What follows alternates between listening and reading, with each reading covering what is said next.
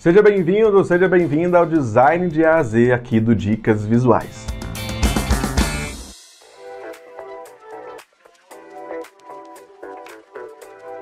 Eu gravei aqui uma série de vídeos que vão funcionar como uma espécie de dicionário visual e que vão ajudar, é claro, principalmente quem está começando agora na área do design gráfico ou então Talvez você que já está há muito tempo aí na sua área de trabalho, já conhece, né, já é um design iniciante, mas precisa confirmar alguns termos, precisa conhecer coisas novas. Talvez você não, ainda não estudou design, né, você estudou programas. Então aqui a série Design de A a Z vai te ajudar a conhecer um mundo novo. E muito prazer, se você não me conhece, eu sou o Diego Rangel, também conhecido como o arroba Dicas Visuais aí nas redes sociais.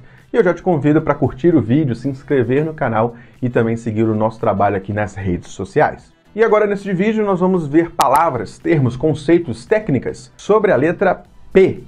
Vamos lá! Veremos aqui Pantone, Pentool, proporção, proporção áurea, PNG e PPI. Começando pela Pantone, Pantone nada mais é de uma forma direta uma empresa, certo? Aqui a partir dos anos 60, 70 começou a registrar as cores, o nome das cores e que na verdade assim as cores nenhuma cor é, é, de detenção de ninguém, né? As cores estão aí no universo para serem utilizadas, mas uma empresa então percebeu ali que não tinha uma padronização de cores no mercado, principalmente no mercado gráfico, que vai pintar as cores, né?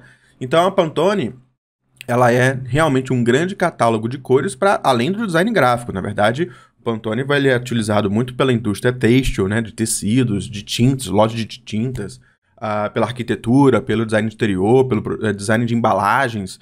Então também tem a questão aqui no design gráfico que é mais voltado ali para quem vai produzir marcas, identidade visual, uma coisa de larga escala. Confesso que assim, nos meus quase 15 anos de mercado, é, eu talvez eu só usei Pantone umas duas vezes, né? Porque eu nunca precisei, eu nunca tive clientes de grande escala, de marcas gigantescas, marcas que realmente precisavam ali é, de uma certa padronização, não era o meu foco de atendimento, a ter esse tipo de necessidade. Então o Pantone ele vai ter aqui de fato várias numerações de mistura de cor, onde ele vai, é, se você for precisar de um dia é, Pantone, ou você vai precisar pegar uma gráfica que realmente seja especializada, ou até mesmo essa gráfica vai contratar uma empresa de mistura de tintas para chegar na cartela certinho, tá? Então, Pantone de fato ele não é uma interpretação do RGB nem do CMYK, né, que nós já vimos que são um sistema de cores diferentes.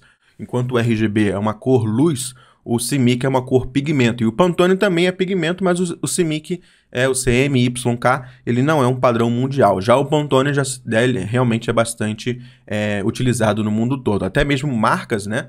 É, registram, quando o país é, permite, por exemplo, tem a Barbie lá, a Mattel, registrou lá o rosa Barbie, né? Tem também o azul Tiffany aqui no nosso manual design competente, você vai aprender um pouquinho mais sobre isso. Então, é, as, co as cores Pantone, de fato, né, elas, as, existem vários padrões, vários sistemas, tem as cores sólidas, as cores metálicas, as cores plásticas e assim por diante. Então, basicamente Pantone, assim, eu vou te confessar que é, na maioria dos designers gráficos digitais, a maioria deles nem vai tocar numa paleta Pantone, essa que é a verdade. Mas se você trabalha com identidade visual, se você quer se especializar com identidade visual, vale a pena você pesquisar sobre isso, estudar e quem sabe até mesmo se especializar, né? Então realmente é, vai, vai, faz sentido.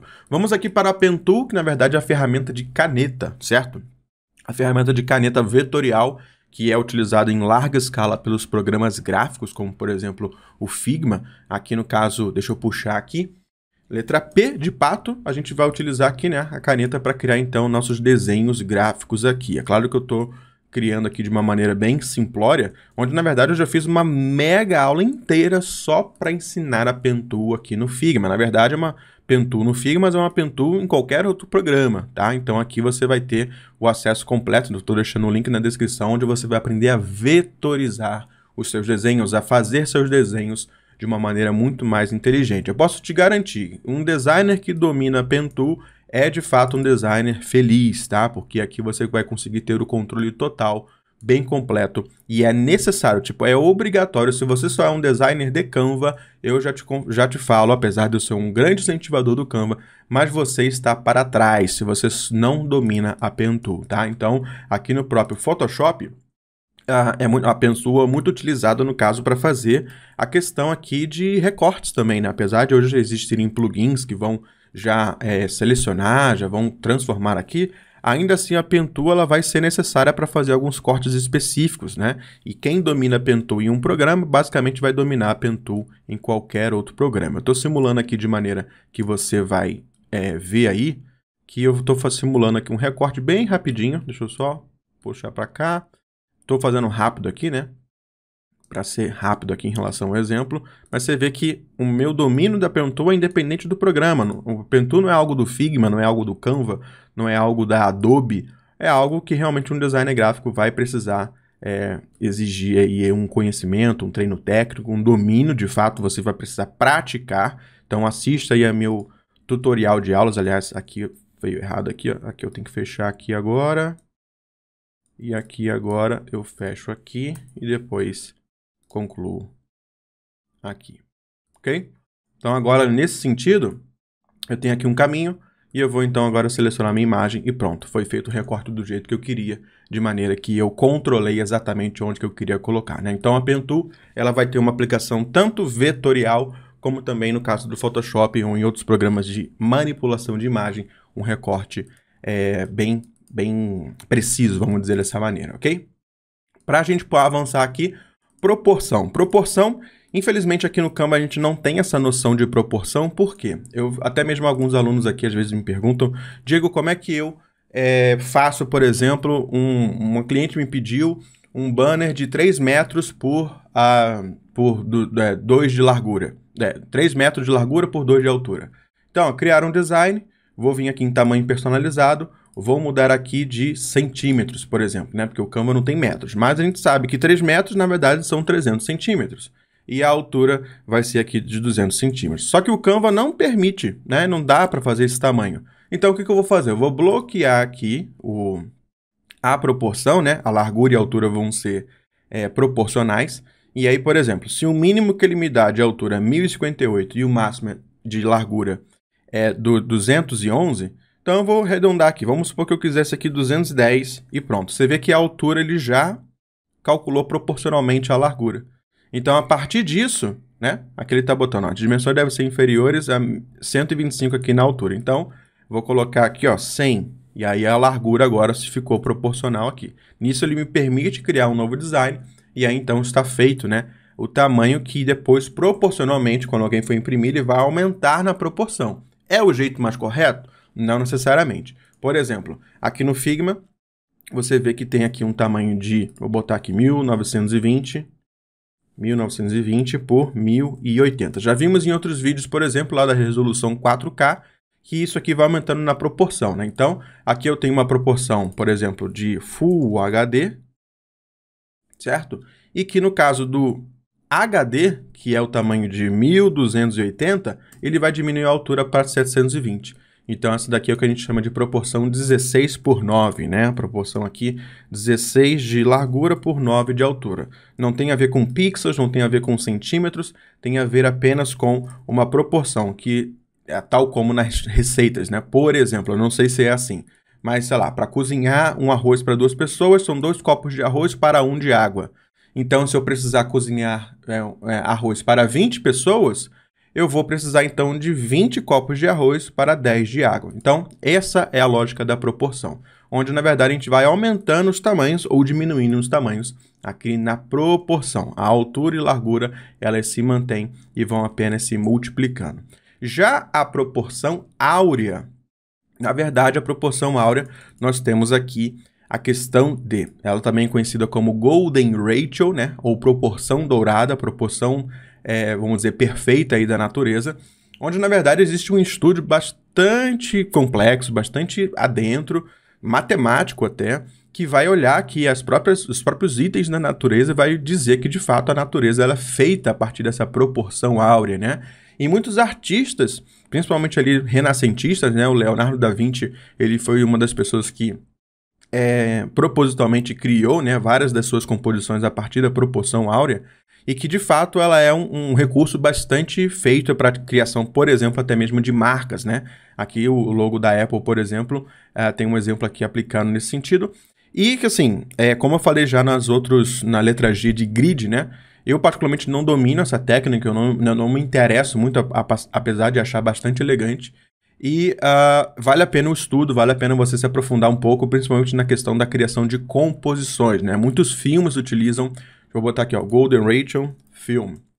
Você vai ver várias cenas cinematográficas sendo utilizadas essa proporção áurea, né? Onde vai ser feito o encaixe, vai ser feita a divisão da composição, vai ser feito realmente a criação uh, de vários elementos ali para realmente a cena ficar, vamos dizer assim, mais perfeita, né? Então, a proporção áurea, diferente da proporção, por exemplo, aqui que é algo mais simples de entender, aqui a gente já tem já um cálculo que ele é dividido aqui no meio, depois duplica, vem para cá, a mesma coisa, então ele vai se dividindo e é meio que um ciclo infinito, como se fosse, né, um negócio de caracol aqui, né, que vai realmente chegando, um espiral meio que infinito. Então, proporção áurea ou Golden Ratio, vou botar aqui design, você vai achar vários elementos, vários exemplos de criação de marcas, de posters, de cartazes e assim por diante. Vale a pena o estudo, apesar de realmente eu não ficar preso nisso, que eu prefiro ficar mais livre na minha criatividade.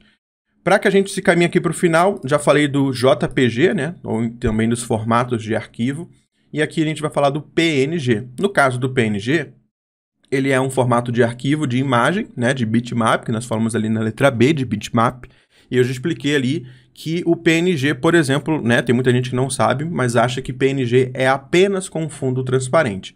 Por exemplo, eu tenho uma, eu tenho uma, uma, uma imagem aqui, ó, que ele é um PNG, certo? Ó, frame 1.png, e ele não é fundo transparente, tá? É muito utilizado, principalmente hoje em dia, nas redes sociais, nos arquivos de rede social, porque acaba não sendo comprimido, né? Não perde resolução, não perde qualidade.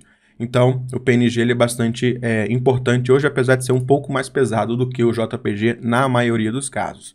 E aí, ele tem a opção, se eu for baixar isso aqui, ó, compartilhar, baixar, PNG, ele vai me dar a opção de fundo transparente.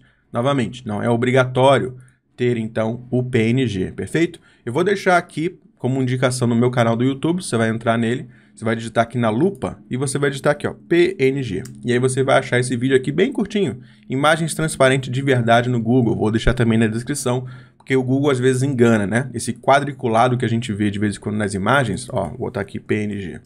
Quadriculado que a gente vê aqui nas imagens é uma representação visual que é um PNG. Só que isso aqui, por exemplo, se eu baixar, ó, salvar imagem e vou salvar aqui de maneira que você vai ver que ele aparentemente parece um PNG, né, por estar com quadriculado, mas na verdade é uma imagem WebP, é outro arquivo, e que na verdade esse fundo transparente aqui ele não é real, né? Ele é só uma simulação.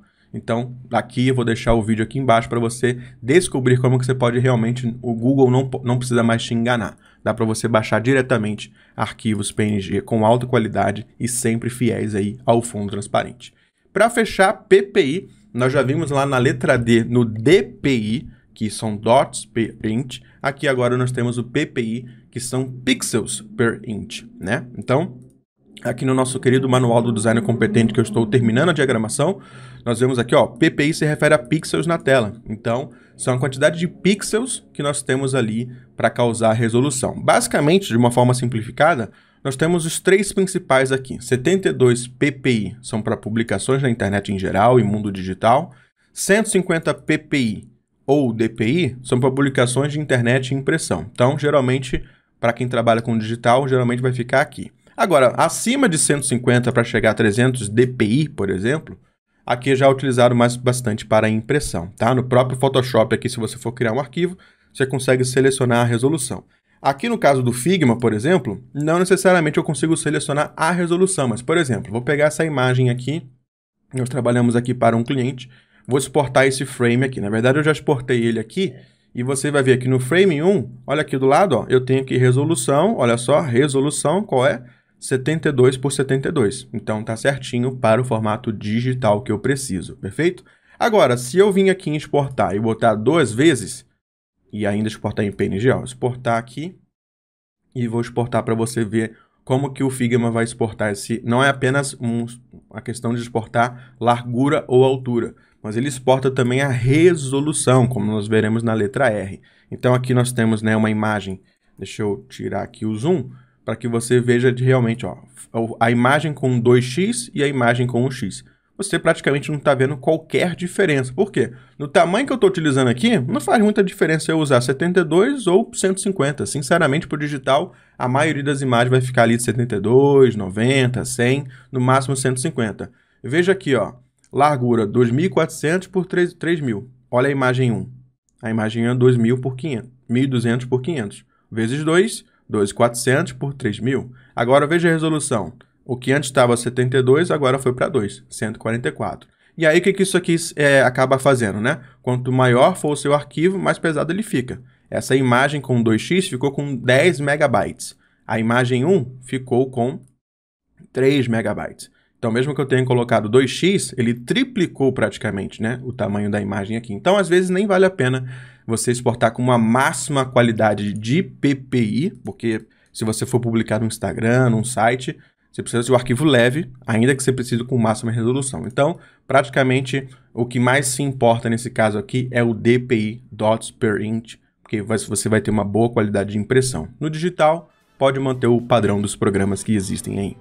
Antes de acabar o vídeo, eu quero te pedir duas coisas para você fazer aqui abaixo nos comentários. Primeiro, se você conheceu um termo novo, uma técnica, uma explicação diferente, coloca aqui para eu saber que tipo de coisa né, você acabou descobrindo para a gente poder trocar uma ideia. Segunda coisa é se faltou algum termo, alguma técnica dessa letra que nós estamos falando aqui, também comenta aqui abaixo, vai ser bacana, quem sabe fazer um segundo vídeo sobre a letra. Também eu vou te pedir que se você curtiu esse vídeo, então demonstra aí, ó, aperte no joinha, se inscreva no canal, compartilhe esse vídeo aqui no grupo do WhatsApp, Facebook, com alguém que esteja estudando design assim como você. E, é claro, veja também os outros vídeos da série aí, porque é de A a Z. Nos vemos então num próximo conteúdo. Até lá!